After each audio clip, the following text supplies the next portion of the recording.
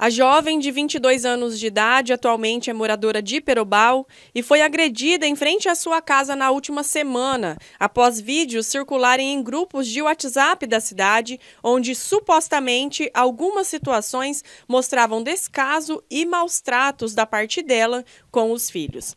As crianças que têm entre 3 e 7 anos de idade foram morar com o pai há cerca de três meses após as imagens terem sido produzidas dentro de sua casa. Ela procurou a nossa equipe para contar a sua versão da situação. Os filhos são fruto de um relacionamento que durou nove anos. Atualmente separada do pai das crianças, ela mora há poucos meses em Perobal. Segundo o que ela nos relatou, a situação começou quando a irmã, que na época morava com ela, fez algumas imagens da residência em que viviam juntas. Nos vídeos é possível ver a casa bagunçada, comida estragada e também um dos filhos com a pele machucada. É, aconteceu assim, eram umas três horas da tarde, eu recebi uma mensagem da minha irmã atrás de dinheiro das crianças. Simplesmente falei para ela que eu não tinha no momento, que eu tinha usado para mudança e que o meu acordo era com o pai das crianças, que final do mês eu ia pagar conforme a gente tinha combinado. Aí eu falei assim, é, eu não sei porque você está entrando no meio dessa briga que já está resolvida. E eu e o Luan já conversamos hoje cedo e estava tudo normal. Aí ela veio falar que eu me achava demais, que eu ficava postando muita foto bonita na internet, que eu estava viajando para a praia, que eu era isso, que eu era aquilo. Aí eu falei assim, Carol, eu não vou discutir com você que eu estou cuidando da minha mudança. Desliguei o telefone e fui fazer minhas coisas. Quando foi por volta de umas 8 horas da noite, ela mandou uma mensagem e falou assim que eu ia ter o que eu merecia. E colocaram o vídeo na internet no grupo de Perobal. E todo mundo ficou mandando mensagem para mim do vídeo da casa. E algumas ficou dando apoio, outras começou a me xingar. Quando foi por uma volta de umas 9h40, 10 horas, a menina me chamou no portão falou que ia vir conversar comigo sobre o que tinha acontecido do vídeo, que sabia que aquilo ali não era verdade, que me conhecia. Falei assim, tá bom, vou te esperar na frente. Essa menina que veio junto para me bater. Quando eu saí para fora, a menina que estava com de short, uma camiseta, não lembro, com o cabelo solto, me chamou e perguntou se meu nome era. Falei assim, que era, né? Ela pegou, já me deu um soco na, na boca, a outra já veio, me deu uma paulada e já me derrubaram no chão. Ninguém sequer me perguntou uma palavra, só o meu nome. E ali começaram a me bater. Me bater, me bater, eu fiquei gritando socorro, eu só tampava minha boca. Aí, no final, depois que elas me bateram, só falaram assim: Isso daqui foi a sua irmã que mandou. Nós procuramos o Conselho Tutelar de Perobal, que informou que já tem conhecimento da situação e todas as medidas cabíveis estão sendo tomadas com relação ao caso, que segue em segredo de justiça por se tratar de menores. A jovem relata que, por não possuir geladeira em casa, a comida estragada que aparece nas imagens estava daquele jeito, pois ficou dentro do forno do fogão após passarem o fim de semana fora de casa. Com relação ao filho menor que aparece nas imagens machucado, segundo ela, foi devido devido a uma doença de pele chamada escabiose, também conhecida como sarna humana. Ela contou que todas as crianças pegaram após terem ganhado um colchão usado na casa do pai. É, o farmacêutico disse que era sarna humana que eles tinham pegado em coletivo. Pegou o pai, pegou as crianças minhas, pegou as primas deles, pegou a tia, pegou o avô, pegou o tio, todo mundo lá pegou. Eles consultaram as crianças lá, o médico falou assim que era para passar pomada, remédio, sabonete, que era assim uma sarna humana que eles tinham pegado em coletivo. A gente consultou lá no Moreira, as crianças veio embora para cá, tava na creche, eu fui na creche, conversei certinho, falei para a moça que não ia levar para não passar para as crianças, fui no posto, consultei, peguei remédio.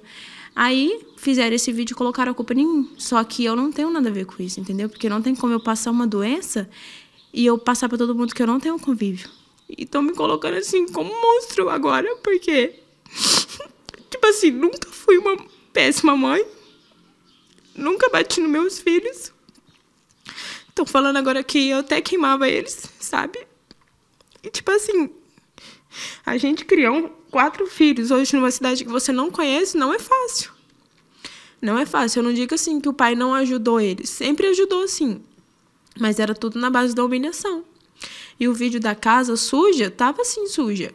Mas não tava naquela situação que todo mundo falou. É, o vídeo da casa suja, eu tava trabalhando em Moarama, tinha conseguido um serviço, a minha irmã veio para poder me ajudar. Ela ficou responsável sobre a limpeza da casa e sobre levar as crianças na creche e cuidar delas. Nesse dia, tinha uma linguiça assim que estragou, a gente não tinha geladeira. A gente não tinha máquina de lavar, a gente não tinha guarda-roupa até hoje, eu não tenho. Fizeram essa montagem, me colocaram como um monstro agora, vieram me espancar até a morte, porque só não morri por Deus. E agora ficam passando na frente, tô, tava escondida até hoje, falam que vão botar fogo em mim, que vão pegar minha cabeça, vão cortar fora, vão levar lá, vão jogar na frente da minha mãe. Hoje, atualmente, você está trabalhando, você falou que estava se mantendo escondida por medo, por vergonha. Você está trabalhando, como é que tá essa semana, como é que tá a sua vida? Essa semana foi turbulenta, porque até hoje está sendo que eu tô com medo de morrer. Eu ia trabalhar, não fui, expliquei para minha patroa que eu não podia ir trabalhar e tal. Ela tá me ajudando em tudo também. É uma pessoa bem conhecida em Morama. E eu tô com medo, porque eu não sei o dia de amanhã. Porque a minha verdade eu sei, mas as, as pessoas estão falando coisas que elas não sabem, que elas não viveram, entendeu? E eu não sei o que vai ser da minha vida. A jovem mãe de quatro filhos nos contou qual é o seu maior medo a partir de agora. Por que você acha que apanhou na quarta-feira?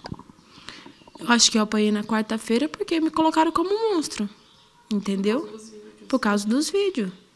Eu entendo a revolta das pessoas, mas eu acho que não tinha necessidade. Eu acho que a pessoa tem que querer justiça, mas tem que ser pelo certo. Chegasse em mim e falasse, Vitória, isso daqui é verdade? Aconteceu realmente na sua casa? O que, que você quer agora? Qual que é o seu desejo? Eu só não quero morrer. Porque vão me matar, entendeu? Porque ninguém quer saber se você tá certo se você não tá. Ninguém quer saber o que, que você passou na sua vida. Nego quer acreditar naquilo que estão falando. E eu falei pra minha mãe hoje, eu falei assim, não tem o que fazer, vão me matar. A hora que eu vi a reportagem do Tatu, eu falei assim, agora todo mundo vai me matar. Eu ia trabalhar em Morama, eu fiquei com medo. Porque como eu ia pegar uma circular cheia de gente, ia atravessar o Morama inteiro para poder trabalhar de a pé. Alguém ia me reconhecer. Todo mundo ia querer matar a mãe que maltratava os filhos. E vão. E isso é mentira. Você nunca maltratou seus filhos? Nunca nunca maltratei. Errei sim. Errei quando perdi os meus filhos. Errei. Mas eu não tenho culpa de pegar depressão. Não tenho culpa de não ter conseguido uma babá. Não tenho. E eu não entreguei, eu não joguei eles para ninguém. Eu simplesmente falei pro pai: cuida, porque eu não consigo. Errado se eu tivesse jogado na rua. Entendeu? Se eu tivesse deixado passar fome. Mas não, sempre fiz tudo. Sempre fiz. Até o que eu não podia, sempre fiz, para não deixar faltar nada para eles.